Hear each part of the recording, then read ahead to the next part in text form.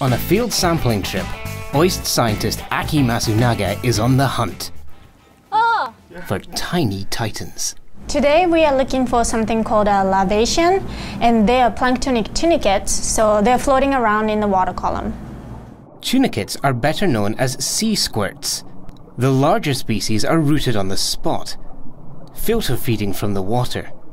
But larvaceans are much smaller and take their filter feeding on the move.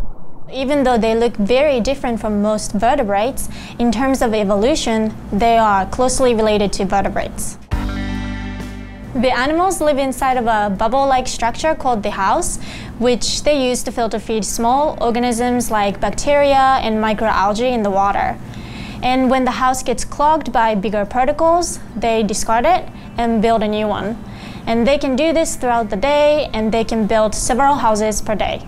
The discarded house floats slowly down in the water, becoming part of what's known as marine snow, a major part of the deep ocean food web. There are so many of them, and they are constantly filter feeding, so the combined effect that they have on the ocean is significant. At OIST, one Larvacean species has become part of a big science initiative. The university is one of only four in the world to breed Oikopleura dioica in captivity.